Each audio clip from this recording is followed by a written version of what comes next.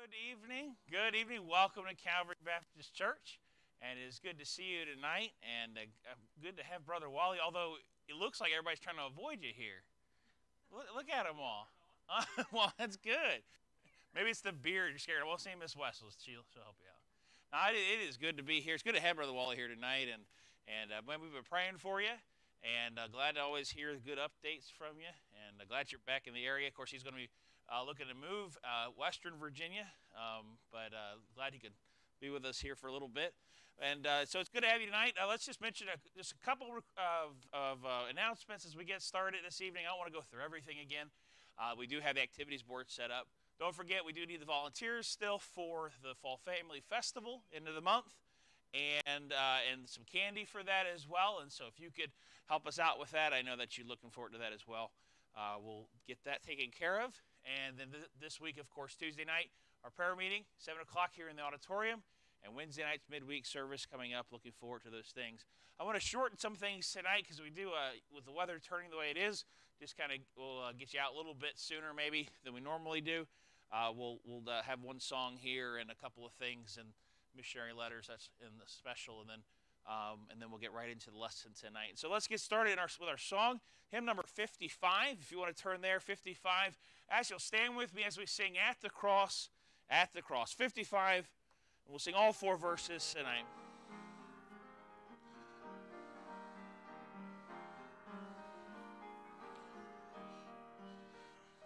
Alas, and did my Savior bleed, and did my sovereign die? Would he devote that sacred head for such a worm as I? At the cross, at the cross, where I first saw the light, and the burden of my heart rolled away.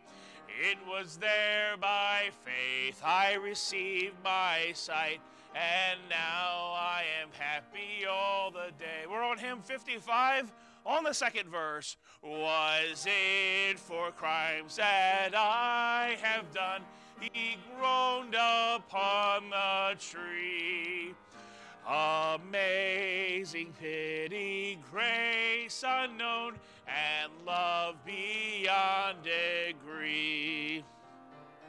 Cross at the cross where I first saw the light, burden of my heart. It was there by faith I received my sight, and now I am happy all the day. Well might the sun in darkness hide and shut his glories in. When Christ the mighty Maker died for man the creature sin. At the cross, at the cross, rolled away it was there by grace I received my sight, and now I am happy all the day. But drops of grief can ne'er repay the debt of love I owe. Dear Lord, I give myself away, tis all that I can do. At the cross, at the cross where I first saw the light, and the burden of my heart rolled away. It was there by faith I received my sight, and now I am happy all the day. Amen. I'm going to ask Brother Wally if you wouldn't mind opening us in prayer tonight.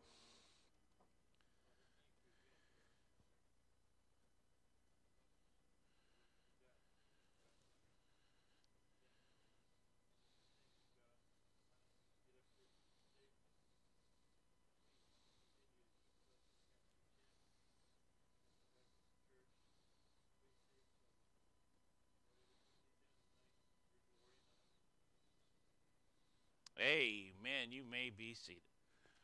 Well, like I said, we are shortening things just a little bit here, and uh, and so uh, but we do want to keep those important things going. So we, of course, Sunday nights uh, take time to get an update from a missionary. And uh, so Miss Natalia Jarvis is going to come up and give us that report and then prayer for those missionaries.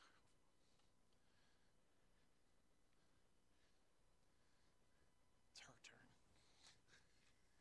If I look down a lot, that's okay. All right. So um, I looked at the update from the Dekus who are in the Fiji Islands. Um, there was nothing new on Facebook other than a missionary family had visited them. Um, so this is actually from June and July.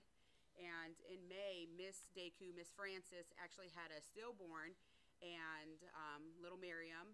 And um, however, her mom and her aunt were able to come out and visit and get some time with her and just help her through that time. And actually, on Facebook, she gave a really good um, testimony throughout that time and just um, how God led her through. And um, so, if you're on Facebook and you go to the Dekus page, you can listen to it. It's just a few minutes long, um, but she definitely um, she got some healing, and I, I, know that's a long road in the future. Um, they also had a Bible conference there, and I think that was in June. It said, and now they're resuming back to their normal ministries. Um, there, a container came that had a lot of their supplies, so they're very grateful and thankful that it cleared customs, um, as well as they are looking to see if the Lord will open doors for them to start a school. There are some hurdles. They don't list specifically what they are, but they're asking for prayer um, to get that school started. Um, and then they had a annual youth camp in July, and there's no update how that went that I could see. Um, that would have been passed, so I'm sure God worked um, great miracles in that situation. There was a gentleman on their Facebook page that they were praying for that they had to have emergency um, appendix surgery, appendix, what, appendectomy, and that went really well for them. Um, so tonight, when I go to pray, I'm going to be praying for, as I can see right now, just that their ministry continues and that if that school is in God's will, that that's what they um, are able to open up. So I'm going to pray. Dear Heavenly Gracious Father, Lord, we thank you so much for those who have answered your call to the mission field. We thank you that they have a heart to go out, um, sometimes far away from their home, their families, and to teach and preach the gospel, Lord. We want to lift up the Dekus, uh, Miss Francis, as she still continues to heal and um, go forward from having the little Miriam, Lord, who was um, born stillborn, Lord. May you just continue to heal her heart and help her to um, lean on you and, and to grow in you. Continue to bless their two other children, Lord, and their family as they serve you, Lord. And Father, this school that they're hoping and um, they're asking, Lord, for guidance with opening, Lord, that you, would you just help them to uh, seek your will and to get through these hurdles that they have to get through. We know if it's in your will, it's going to happen, Lord. Give them the patience, give them the um, desire, Lord, just to follow you in that path. Lord, we also just thank you for the Bible conference that they had, as as well as the youth camp that they just had this past summer, Lord. As they continue to serve you this year, Lord, may they just see your blessings in you in their work, Lord, and that others be saved, and so that you're glorified and added to your kingdom. First, in Jesus' name we pray. Amen. Amen. Amen. All right, and just before the lesson, we've got a special here. Going to get this out of the way from the Jarvis Family Trio. Are y'all going to stand on the steps over here?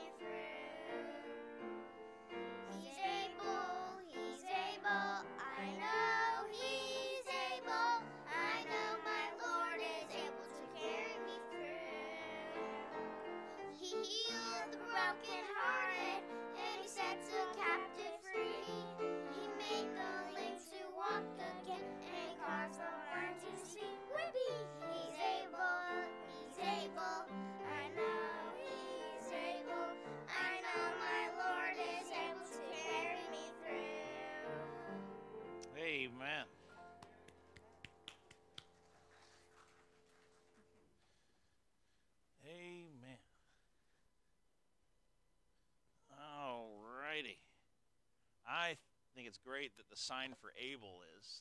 It makes me want to have a big truck to drive. Y'all ever do that? Right? You did what the truck to honk the horn. Please tell me I'm not the only one. All right, thank you, thank you. I don't know if they still do that. Maybe they don't.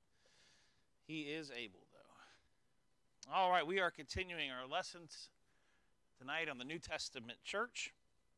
If you're following along in the book, it's lesson six, which means technically, sort of, kind of, we're halfway, uh, which is unbelievable. I feel like the semester just started. The structure of the New Testament church is our lesson tonight.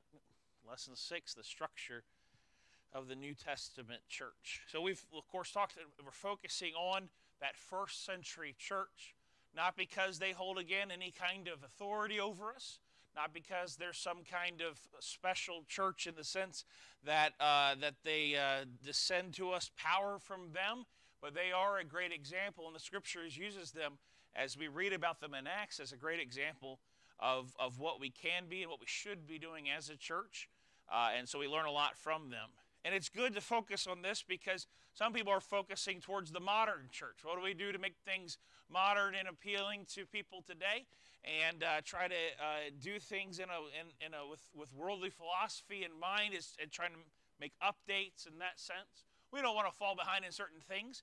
I'm glad that we have technology that we do. I'm glad we can live stream uh, and uh, so that people can watch in places that they wouldn't necessarily have been able to before. They'll receive the gospel in their home where they might not have before or maybe they just can't be here with us and they watch. And, you know, technology is good, uh, but but the basis of what we what we're focused on, what we're based on, our foundation doesn't change, and so uh, it's good study.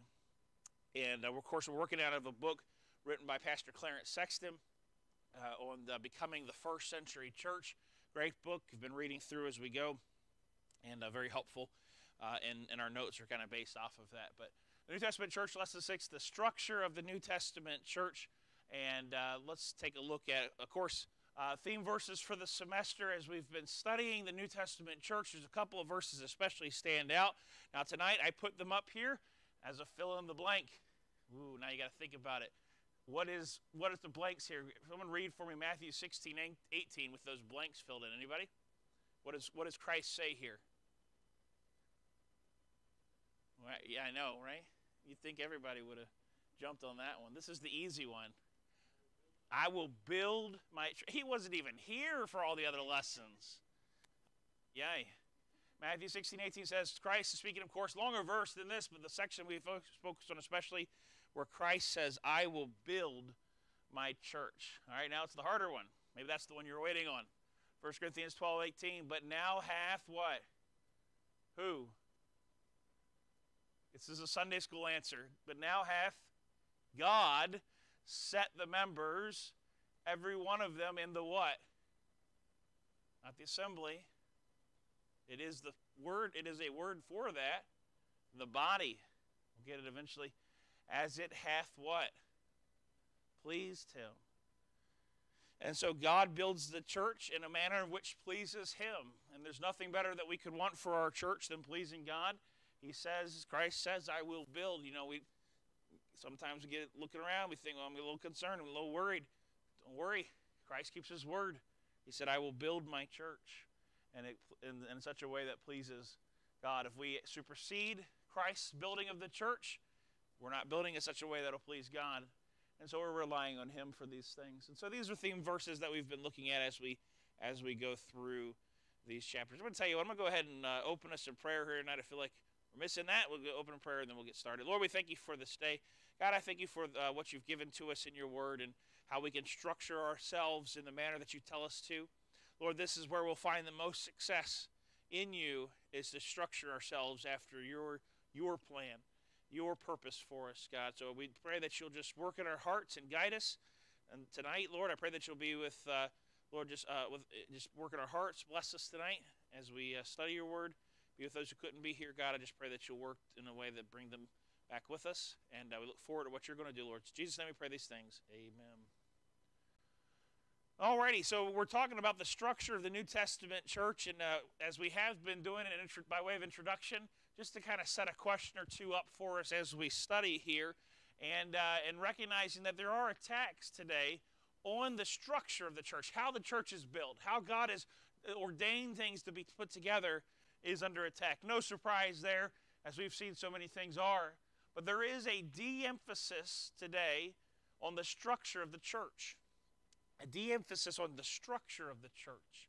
A lot of people put structure of the church, we're talking membership, pastor led, Jesus Christ head, uh, you know, deacon uh, uh, served and led churches, and that the structure is being de emphasized these days. It's being said that that's old, old stuff, old thinking. It's an old way of doing things. Well, old is not always bad. Old can be good, and uh, and and so there's a de-emphasis on structure. In fact, some even deny that any structure is necessary in a church, and we see this manifested in several different ways these days. We see today satellite churches without local pastors. There, this is a big movement today. Hillsong is one of those big church movements, and where they call themselves a church, but they really fall underneath of a structure where they they may have a, a local leader, but he doesn't. Be, he's not the one that does the preaching. Uh, he's not really leading his flock as he's supposed to be.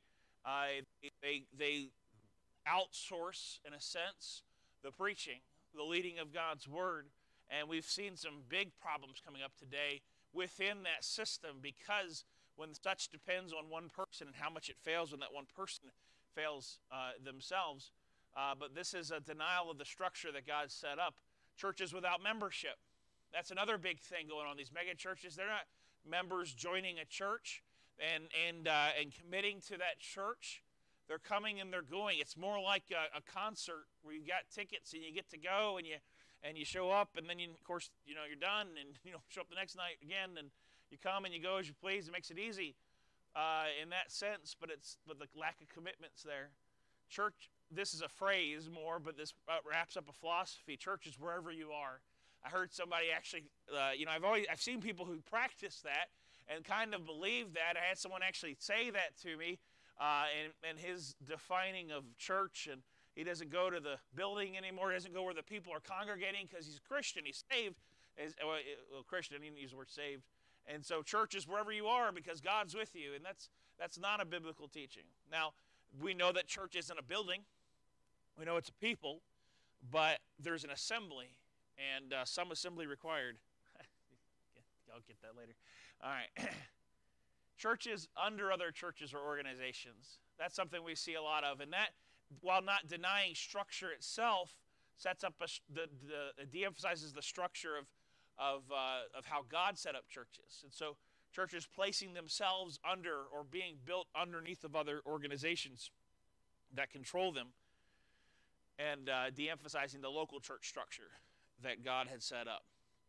And then, uh, so what does the Bible say then about the structure of the church? You know, I, you know, it, it leads you to wonder why there's so many different thoughts on it, why things have changed so much. What are they looking to to get the structure they're looking at? Is the Bible teach what they're doing? Does it teach what we're doing? What does the Bible say about the structure of the church? Because this is really the truth and the, the and really all that matters. This is the truth and really all that matters. What, what the Bible says about it. Doesn't matter what you, you know, well, it makes sense to do this because, you know, we got one dynamic guy and so he's able to preach to a bunch of these different places and, and so we set it up that way because it just makes sense with it. It doesn't matter if it makes sense to you or not. Makes What does the Bible say about it? That's what makes the difference. What does, it, what does it say about the structure of the church? Um, and, uh, and so this is all that really matters. So let's take a look at what the Bible has to say about the structure. And of course, we do see in scriptures a mandate for the structure of the church. Scripture is clear that there is to be a structure to church. So this this is uh, some philosophies directly against the idea of structure within each person being part of that. Uh, the, scripture does clearly teach it we see, first of all, the attitude of Jesus concerning his church and the words that he would give us uh, that reflect what he said about the church, what his, what his, uh, what the truth is about the church. He says, like for instance, as we saw in our, one of our theme verses, as he talks about, "I will build my church." A building re- requires and denotes structure. If you're building something, there's a structure to it. Christ has said he's building up his church. If it was just people getting together and that's it, there's nothing really to build up. It's more of a just kind of a bringing people along for a moment. But Christ is talking about building his church, putting together a structure. And that's what he's promised to do. We see in Matthew 18, 13 to 17, where Jesus is teaching about uh, specifically church discipline. And, uh, and one of the phrases within that is tell it to the tell it unto the church, talking about when there's a person who's done who's wronged and they've been approached and now they've been approached with a group and they're still not changing and they're uh, directly against God and what they're doing and their offense. And so then it's to be told unto the church. There's a church body that's being spoken to about these things, and there has to be a structured body for this. We're going to look at the idea of why that's important but later as well. But the, the structure that's the things that are being told to, report it to. We have missionaries who report to churches, the structures, and even in the Old the New Testament we see that as well. And, uh, and so tell it unto the church. Matthew 28, 18 and 20, this is the, uh, of course, the commissioning of our, the, the mission that we have as a church. Go ye in all the world and teach the gospel, baptizing them in the name of the Father, Son, and Holy Spirit, teaching them to observe all things whatsoever I commanded you. And lo, I'm with you always, even to the end of the world. So we see the direction for the church to go to teach. They should be baptizing. They should be teaching all the all the different things that Christ has taught us. This is again um, in, uh, instruction, marching orders given to a structure, to a church, to a people. Uh, not a, again, not a building, but an organized group of people that have voluntarily separated themselves for this very service.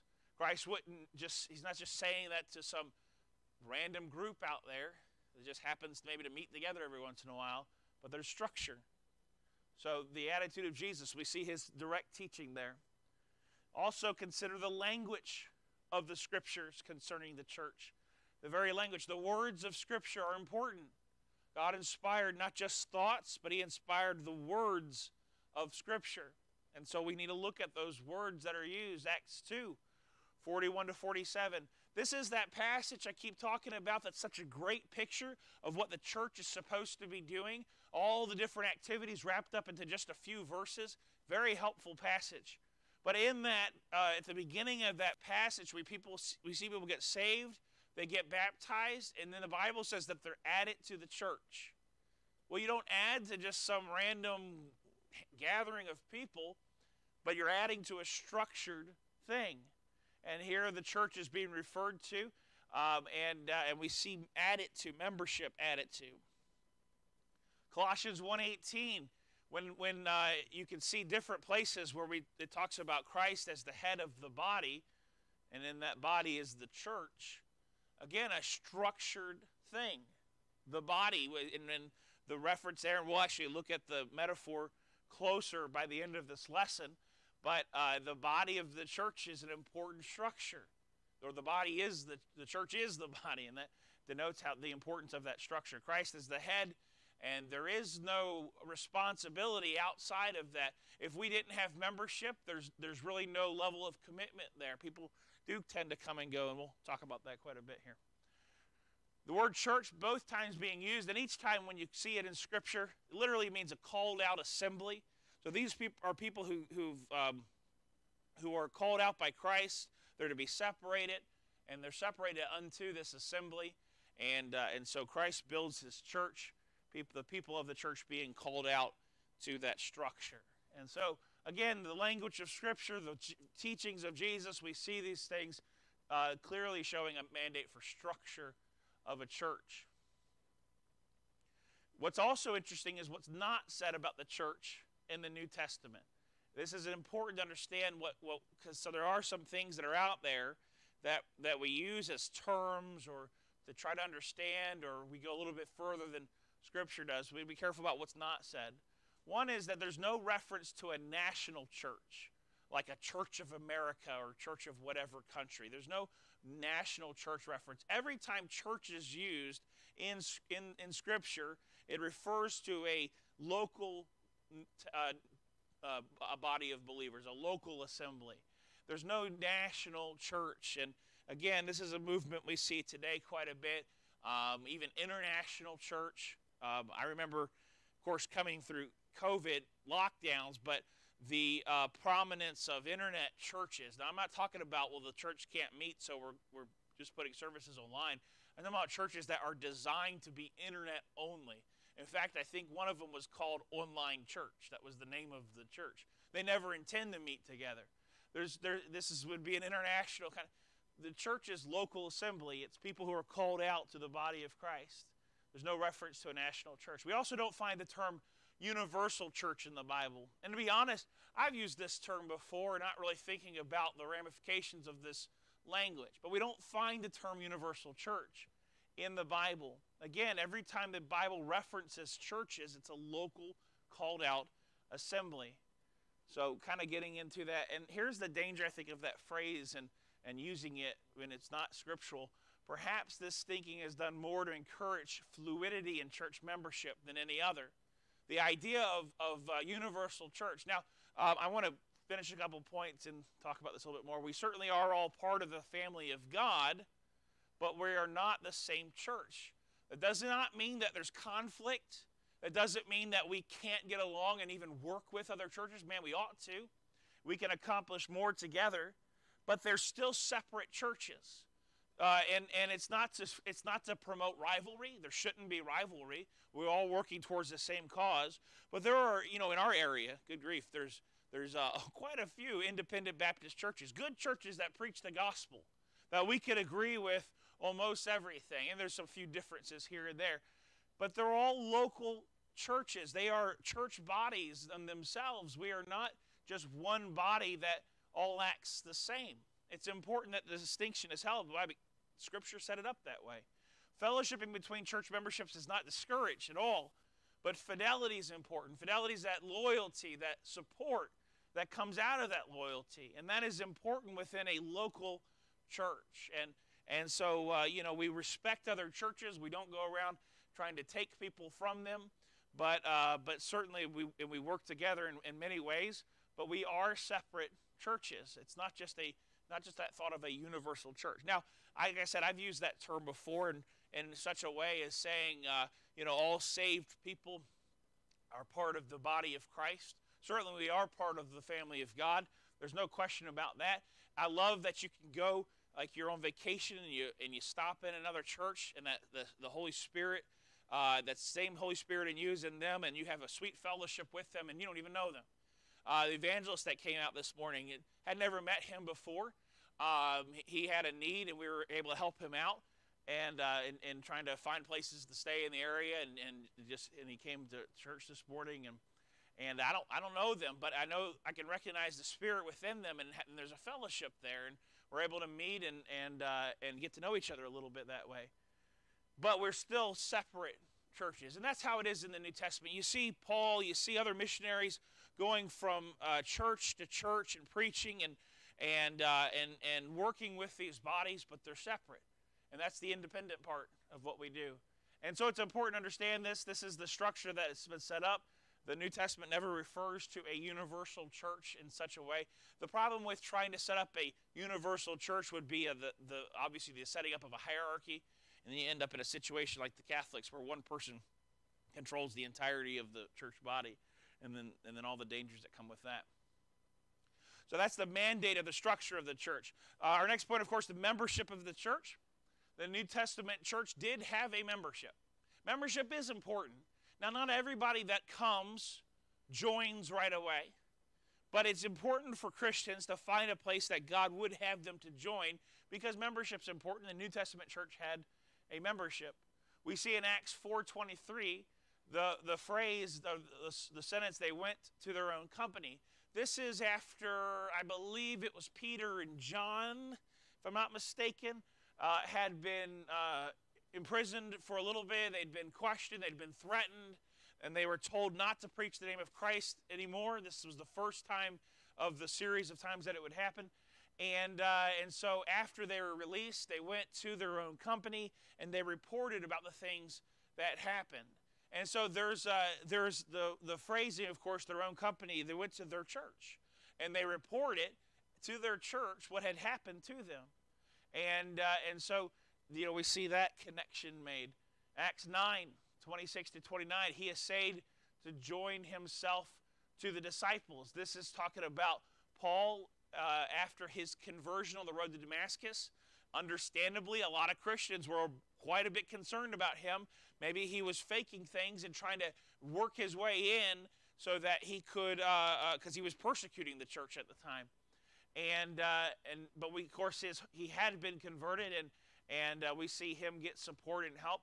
But his his goal was to join himself to the disciples. He wanted to join with their church. He wanted to be part of that church. This was very young Christian Paul who, who has a lot to learn before God will send him along to do his own work.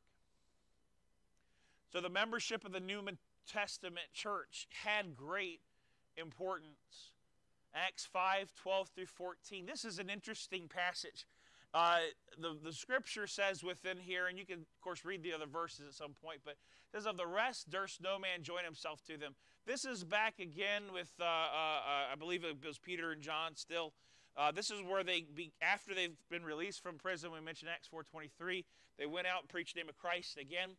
And, uh, and this also is after Ananias and Sapphira lied to the Holy Ghost and they were, they were killed for, the Lord took their life for lying against the Holy Ghost and, and sinning against Him. And uh, there was great fear upon the church, uh, great reverence and respect for God, um, and they did great things for God. And in this particular passage, um, they're, they're meeting together on what's called Solomon's Porch, kind of a meeting area, uh, uh like the town square, if you will. And uh, this is where they were meeting to worship. And many came and joined with them. But there were some who refused to join, or they, they were afraid to join because they didn't want to be associated because they were being persecuted. These were people who decided that, that uh, the cause of Christ wasn't worth the persecution, and, uh, and, they, and they did not join themselves to them. But many did, some didn't. Again, it's that, that membership was there, and it meant something. It had great importance to it. It was an association. And boy, especially in that day, because in that day, uh, if you, I'm, I'm, I, I'm not even talking about the importance. When I say especially in that day, I'm talking about the, it was a big deal to, to join. Because if you joined this church and you associate yourself in that way, you were not only just, you were cast out of society, so even by your own family, if they weren't joining with you, they, they would consider you dead to them. But also, you're, you're inviting the persecution. So if you join the church, you might be persecuted, and, a lot of them were. You're, you're going to be cast out from society and have a hard time doing business. Why would you join? Because it was that important for that association. It was that important to be part of what's going on. Being a church member involves a certain commitment. If you're going to join a church, there is a commitment to that. And a lot of that's been lost in today's society, and it's a shame that, that it that membership isn't looked on with the importance that it needs to be. But joining a church, uh, uh, uh, being part of God's work, committing to it. It's easy just to come, and, and, of course, there's a time when you when you come to a church. And I remember I've, I've, I've been to a couple different churches as we've moved. Uh, moved up to Connecticut, went to a church up there. Uh, used to go to different churches when I was a kid. And you know, there's a time where you visit, and you want to make sure this is what God has for us. And and so you're you're part of the church. You see what you know what are they doing for God, and what what what is it that I'll be able to do with them. Uh, the member the membership look sometimes is a bit off. Uh, people all, all seem to be asking these days, what can they do for me? What what do I get out of it? We ought to be looking at more like it like it's a job interview, saying, "Hey, this is what I can do. Uh, how can I how can I fit in with you guys? What is it that I can contribute?" And uh, and finding what God has for a person. People today more treat it like they're trying to hire the church for them. All right, well, what do you have to offer? What do you what do you want to give to me? You know, and let me list off the things and and it's just a weird look that we have these days. But there is commitment there, and uh, that's a good thing. Good thing to commit ourselves to the cause of Christ through the avenue that He has given to us to do. 1 Corinthians 5, 9 through 13. I actually want to turn to this one. There's a couple words here without and within that really will show us the idea of the membership in the New Testament church. Again, it's important to have this foundation to understand membership is not just some construct that we did. And they, it was abused uh, early. Early, uh, this would be before 1776 in the U.S. We're colonies still. The, there's established churches and actually in states Uh, I don't know if you know that or not. In our history as a, as a country, this is, of course, before we were organized ourselves, uh, there were established churches in states. And in fact, you could not vote if you weren't a church member. And so they were letting people into the church, whoever uh, wanted to be, so that they, of course, could vote and have other privileges within society. And uh, that led to some severe problems and a watered down church and paved the way for the Great Awakening. But anyway, all that aside, um, uh, it's not some construct that we came up with. It is New Testament. So 1 Corinthians chapter 5, and looking at verse 9.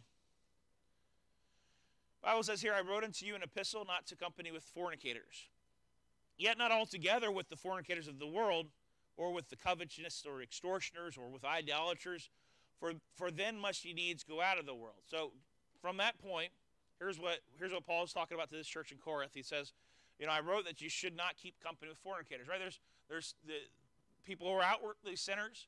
Uh, I mean, this is their lifestyle. We, you know, we, we want to be careful if, as we associate with people that, that we would not only be exposed to that sin, but where testimony might be hurt. But he's saying it's not that you should never associate with them at all. He says that not yet, yet not altogether uh, with the fornicators of this world, with the, you know all these different types of people. For then must ye needs go out of the world.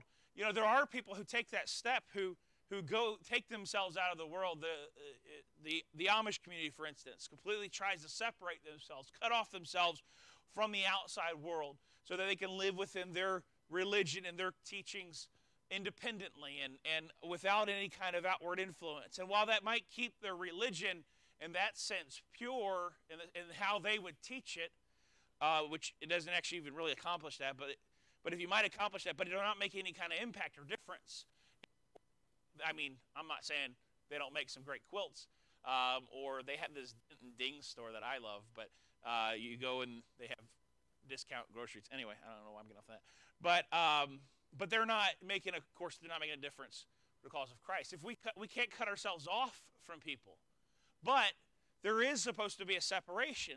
So he's saying, you know, I wrote for you to not keep this company, but not not in the sense that you altogether don't keep it, because it says in the verse 10, for then must ye needs go out of the world. God's got us here for a reason. He wants us to reach these types of people for Christ. He wants us to give the gospel. It's not that there's no association. Look at verse 11. But now I have written unto you not to keep company if any man that is called a brother be a fornicator or a covetousness or an idolater or a railer or a drunkard or an extortioner with such an one no not to eat. For what have I to do to judge them also that are without? Do not ye judge them that are within? But them that are without, God judgeth. Uh, therefore, put away from among yourselves that wicked person. So he's saying, you know, look, if, if you're if you were never to have any kind of contact with those kind of people, you'd be out of this world. You wouldn't need to be in this world any longer. And God could do that. You could get saved, and God could immediately take you up into heaven, and you're not around any more of these types of these people. Basically, we're just talking about sinners um, who, who are un, unrepentant sinners, right? And, uh, and so he could take us out, but he left us here to have some kind of contact with them so that we can share the good news of the gospel. We can tell them that Jesus has died to save them from their sins, that we once were the same living in sin, but Christ changed our life. He changed our heart. We repented of that sin. We repented of that way that we were headed, and we followed after Christ has said. We followed and obeyed him and, and ask Jesus to save us. And we, we can share that message with them. But he says in verse 11, though, he's still saying not to keep that company. In other words, we have contact. We want to reach those kind of people, but they're not to be part of our congregation. They're not to be part of our assembly. And of course, you can even see in Matthew where, how to approach and, and the need to sometimes have to remove somebody from membership. And so he's saying you, you, you, the, the, you don't want to, to have them within the company, within the church, within the membership. Not even to eat and associate with them in that way. If, and it's specifically talking about if any man that is called a brother be involved in these things, and this is what their life is. And it's like it's not saying if they, they, they sin, they're repentant, they won't make things, and they want to make it right, they're fine to keep in. But these are people who are unrepentant of what they're doing. They're supposed to be Christians, but they're not acting anything like a Christian. And the Bible says not even to eat with them. But look, look at the reasoning here. Verse 12 For what have I to do to judge them also that are without? It's not our place to have to judge the world. The world's already judged, sinners already judged. Their sin has done that in their, in, on them already. God will judge them that are without, but do, do not ye judge them that are within? So we have a responsibility within membership to, to encourage each other, to uh, exhort and edify each other, to build each other up. We have that responsibility. And at times, we have to make some judgment calls. We may have to say to somebody, look, you know, they're a member of the church, you're practicing open sin, you will not repent, you're, you're shaming the name of Christ, you're causing a, a problem with the testimony of Christ, and we have to, we may have to ask or you know, you know the kind of ask where you're telling them to leave. Uh, you know, that's possible. Now, this is this is within membership, and even within our church, we understand the difference here. I hope we do at least, um, and I think we do. Uh, you know, we, we welcome anybody to come visit the church. Anybody come sit in a service, so long as they don't disrupt. You know, we, we, we want people who are unsaved to come hear the gospel. And uh, this is a place, I hope and pray, will always be a place that, that will, will give out the gospel every time we open the doors. That that is what we're about. That in some way we will share that message with others. Um, and, uh, and so we want people to come. And uh, we're not kicking people out unless they cause a problem, which they need to. But membership's a different thing. Membership is for the saved, baptized believers uh, who want to follow God, who want to have a heart to follow God. And so there is a difference between someone just coming and, and then someone with joining. There, there, the Bible refers to it says without and within. Uh, in these passages, we don't we don't judge those who are without. Their sin has judged them already, but we do have a responsibility for those within, and uh, we've got to make sure that the testimony of Christ is is protected. The testimony of Christ is no more powerful than the testimony of His church, and so a church that doesn't um, exhort and edify and and uh, its own membership, each other, ourselves, a church that does not do that uh, may lose its testimony and will harm the testimony of Christ because the world can't see Christ except to see the church and to see his people and to see Christ in us because the world does not understand spiritual things. Now, the Holy Spirit can work in a person's heart and has to, and, and, and to, to, to uh, draw them to Christ. But the, the testimony of Christ is no more powerful than the testimony of his church. And so the membership is important. It is important for Christians to be a member, to be an active member, to participate, to be part of what Christ is doing. Now, the Bible uses several different metaphors that emphasize the structure of the church in different ways. And there's three that we're going to look at here tonight uh, as we close, as we get towards the end of our notes here this evening. The first is the body of Christ. And we're very familiar with this one. Months ago, I preached a series of messages on the body of Christ and the members thereof as we as we studied uh, even Baptist doctrine and different things. But uh, the verse here will reference 1 Corinthians chapter 12. Now, there's a lot of verses within there that talk about the members and and uh, the, the the picture of the body of Christ. Uh, the body is one and hath many members, and of course, uh, we know that our head, the head of the body, is Jesus Christ Himself. The pastor is not the head. The deacons aren't the head. Uh, a committee is not the head. There's not a pope. There's not a com- uh, outside committee or commission or anything like that. Christ is the head of the church, and we are members of his body. Nothing else is. But, and I like this metaphor. It illustrates several things about the structure of the church and about the church itself and our relationship to Christ. One, emphasize as well is the unity of the body working together. And we've talked about this a bit at times, but, uh, you know, we think about different members of our body, the importance of all these different members having to work together to accomplish what the head tells it to accomplish. So, even in just something as simple as I'm going to walk over here and pick up my Bible, there's a whole lot of moving parts in a body that goes into that one simple task that my head has told the rest of my body to do. A lot of different commands go out to make sure that I'm able to walk and pick up and, and use the strength needed to not throw it into the ceiling, but just enough to hold it. Uh, it's a lot of unity involved in different parts. And so I love the picture there of the unity of, of, of members working together to accomplish what the head says. The design of the body is another great illustration here to do the work of the head. My body, if it works right, It's only going to do what my head tells it to do, my brain tells it to do, even if I'm not thinking about it. In my, in, in, in my case, it happens too much. But, uh, you know, breathing is not something we have to think about unless we want to. But either way, the body's still doing the work of the head. And that's a great illustration of how we as a church body, as a body of Christ, you know, we're just, we're just receiving orders from Christ himself through God's word, through his leading in various ways, and, uh, and we're doing that work. Uh, I love the illustration as well, the dependency of members upon each other. You know, we do depend on each other in the work of Christ. There is a variety of people with a variety of roles, personalities to match and help us do the thing that God allows us to do, and we rely on each other for that.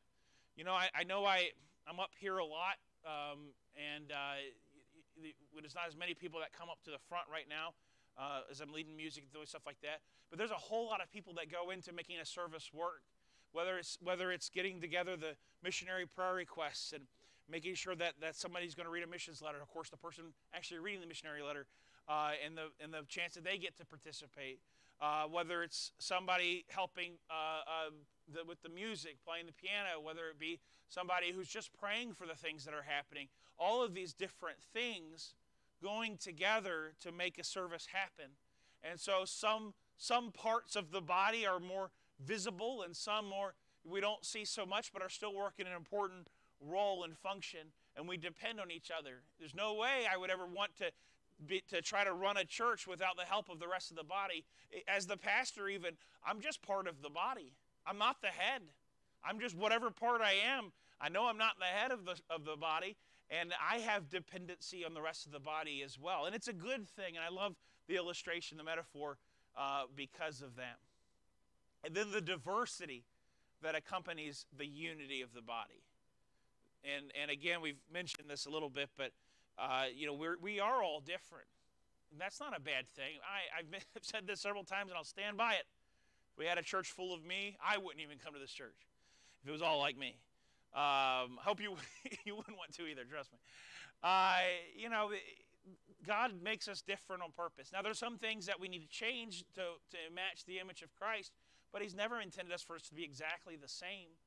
There are some people who are able to to perform a role that they will speak in front of others. There's some people who will have a very background role and and never get in, into that speaking, or at least not for now. And you never know what God's going to do for you and do in your heart. But there's a reason why there's diversity because we need all these different things to come together, whether it be cleaning a bathroom, cleaning the carpets, whether it be organizing a closet. Uh, that will help a teacher uh, to be to be ready uh, and be more efficient in their teaching. You know, any any kind of role you can think of, we need that diversity, or a body doesn't work. And the Bible, in, in this passage, illustrates it well. What would the body be if it were all hearing? What would the body be if it were all seeing? We couldn't accomplish. Say, well, you know, the eye is a beautiful thing. I, I want to be the eye, you know, and and uh, this is the Bible illustration. People, you know, the, the ear looks at the eye and says, well, I'd rather be the eye because it has that beautiful color and, and all I have is wax and nobody likes me. And well, what would we be if we were all eyes? We would see a lot, but we wouldn't hear a thing. We, we need that diversity. And I love the picture of the body for that and something we can look to. So the body is what the first metaphor we look at here. Second one is that the Bible refers to the church as the household of God the household of God. Ephesians 2:19 uses that phrase. The church is a family. We are a family, the family of God. But uh, and more specific than this, before we start thinking about crazy uncles and people that we'd rather not know that they're in our family at all, we're talking about a household. So think fathers, mother, children, immediate family type household situation. That's the closeness that that this metaphor represents for us the closeness of the family of God. We are a family. I, I hope you recognize that. Um, we are bought by the blood of Christ. We are redeemed into His own. We are we have become the sons and the daughters of, of God, adopted children, joint heirs with Christ. That makes us immediate family with God and with each other. Uh, that is a bond that we ought to emphasize. I know that sometimes we emphasize the the human blood family as the most important thing. And uh, I, I just think we need to emphasize more this this Christ blood family that we are to each other. And it's e- it's been easier for me to to to live that I think than some people who has a really close big family. I don't. I've never had a really close big family. Very close to my parents. Very close to my brother. Um, and and as, as, after Rebecca and I got married, close to her family as well. And I've learned some things. But uh, but I've always in my family growing up, we had church family gatherings. We got together with with church family a lot because uh, we it was a lot of Navy families, and so they didn't have their family nearby and their blood family, and we didn't really either, and and so we got close like that. So it's easier for me in that sense. And I know some people have large families, and and and y'all have some great things there, but we have a very large, wonderful church family. Redeemed by the blood of Christ, brought together, brought as sons of God and daughters of God. We are this wonderful organization. And I love that it's the household of God that, that again, that, that close family. And it, it really illustrates to us how we ought to treat and regard one another. You know, those of you who have the large families, the, the you know the human blood born families, um, that makes it sound like a disease, a blood-borne. It's not. I think it's a great thing. I'm not denounce. I'm not. I'm not trying to tear that down at all. But um, you you guys understand well how to treat and regard each other. I hope uh, close families do this. We, that household of God really ought to teach us that closeness. Well, we don't always get along. I don't know about you guys. If y'all had siblings, did you always get along with your siblings? Everything was just hokey dory all the time. Yeah, yeah, me neither. My brother was mean. Four years older than me, he used to beat me up all the time. Now, he, he's a good brother. At least he'd beat me up, but he was the only one that was allowed to. Nobody else was allowed to. So that helped a lot. Because I was this dorky little kid running around. Like, I, I didn't weigh anything. You could blow me down and with when you're blowing out your birthday candles, all that good stuff. But uh, so you know, obviously you don't always, maybe you don't always get along, but there's still a closeness that you wouldn't that you wouldn't give up. And uh, you know, where he's family, she's family, and uh, that's how we ought to treat each other. That's how we ought to regard each other. And this illustration teaches us that well. Uh, uh, also, the equality of value in all members of the household. Parents, y'all should understand this well, and I hope you you know, of course, this is a family that's following after what God would have for us. Uh, you, your kids are different. Some of them are better to you than, than the others. I was the good son, and, and I'm just going to put that out there.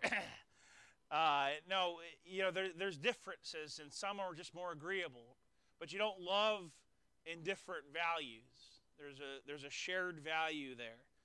All you, know, you love your kids He's like, well, I love this kid. Maybe today I love this kid more. Uh, there's equality of value, and, and, and within with you know uh, husband and wife as well. It's it's it's there's a closeness there, and there's and, and that's a great illustration. It's you know we've got different people in within the body of Christ, some who stand out more than others, but in God's eyes, He looks at us as His household, His His His own, and He's not assigning values. There's no more assigned value to the pastor of a church than to the janitor of a church. I hate putting the janitor as the lowest level all the time. We're going to stop picking on my dad there. Uh, but but uh, you know, the, it's there's equality of value, and I love that picture there. And then the structure of Christ to his church. Of course, you can't forget Christ used the family, specifically the husband wife relationship, as the picture of, of Christ and his church. And uh, that's a beautiful picture that he's, that he's given to us there. Uh, he is the husband coming for his bride. We are the bride waiting for, for Christ to return. Um, and you can read about the, the relationship there uh, as, as uh, Christ loved the church, so should the husband love his wife. And, and uh, as, as, the church submits to Christ, so the, the wife submits to the husband. And uh, just a beautiful picture there. So the household of God is the second. And then the third and final of the notes here tonight the building of God the building of God.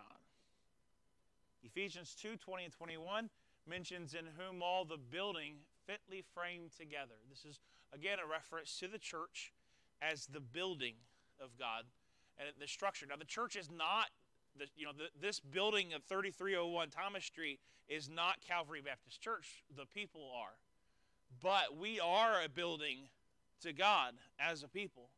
It's a great illustration. Jesus Christ is the foundation, and we are built upon him. And, uh, and so it's a great picture, again, understanding that Christ being the foundation of the church, and we're just built on, on him as a structure would be built. And there's really nothing more, well, other things can knock a building down. But there's few things more important, or really nothing more important, I guess we could say, because everything's struck than the foundation of a building. If you don't, if you have a faulty foundation, anything you build on top, it's not going to matter. The foundation is going to have a pro- give a problem to that building at some point. And, uh, and so you know, this is a great illustration of how important Christ is in the church. This metaphor illustrates the value of the parts when assembled. Now, uh, if you think about a building material, which is quite expensive these days, if you've made a trip down to Home Depot or Lowe's anytime recently, you've seen that prices of building parts have gone skyrocketed three, four, five times what they should be. And uh, it's just pretty crazy. Uh, it's, it's calmed down a little bit, but it's still pretty bad. Um, but even still, the value of all those parts don't add up to the value of the completed structure. You know, the, the you could buy all the, the two by fours and the plywood and sheetrock and everything else that goes into a building, and you'll spend a lot of money doing that. But when you assemble it into a home, it's worth more than the parts themselves. I love that illustration with the church you know, uh, a door isn't as valuable or as helpful to a building unless it's assembled into the building. So if they took that door off and just laid it on the floor, wouldn't mean a lot to us except as a tripping hazard. We wouldn't really care to have it there. But when it's put as it ought to be, it's valuable, it's helpful, it's, it's, it serves a purpose. And so the value of the parts when assembled. See, a church isn't so valuable if its members don't assemble. It doesn't really help us a lot to have membership and to have a, uh, the structure unless the structure comes together to do the work that God's led us to do. So, this metaphor teaches the value of the parts when assembled. Also, the dependency of the structure on its cornerstone. Uh, Jesus is specifically referred to as the cornerstone of a building. And the cornerstone is set first in these buildings, in, these, in this type of structure and everything is based off of that placement of the cornerstone. Everything is measured off of or set in order by that cornerstone. The cornerstone is the important part of a building, it's the start of a structure of this type. And uh, I don't know, there's not really a corner, is there a cornerstone type thing today, Dad? Not really so much. You got to start from one point and you got to pull off of one point to make sure everything stays. And so, so, so not a literal stone, but something to pull off of. And that's really that's what Christ is to the church. How do we know we're in the right place? How do we know we're building properly? We're pulling off the cornerstone. We're, we're making sure things line up properly with that starting point. And so, a great illustration for the dependency of the structure on that cornerstone. Also, the necessity to be fitly framed. That word fitly, when you see it in the Bible, often refers to properly or, or uh, uh, as fitting for whatever it is, uh, appropriately, if you, if you will. And so the Bible is up there in Ephesians 2.20, we see in whom all the building fitly framed together. And it's necessary that we are indeed fitly framed. If we're not put together properly, as it hath pleased God, then uh, the structure does not do as it ought to.